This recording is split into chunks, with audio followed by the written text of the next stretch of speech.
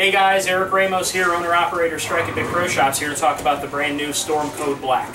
Uh, the Code Black has the RAD4 core, which is asymmetrical, with the ever so popular R2S Pearl cover stock.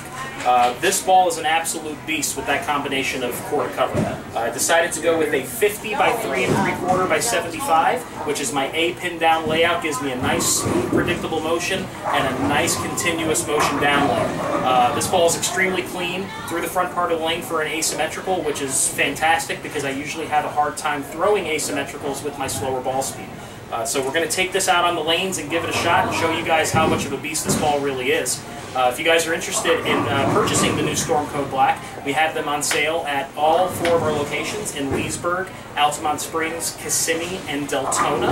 Uh, the ball retails for $209.99. That already includes the drilling of the ball. So if you have any questions about the new Storm Code Black, stop by and see us at any of our locations. We're going to take you out in the lanes and give it a, give it a roll. Hashtag strike a big.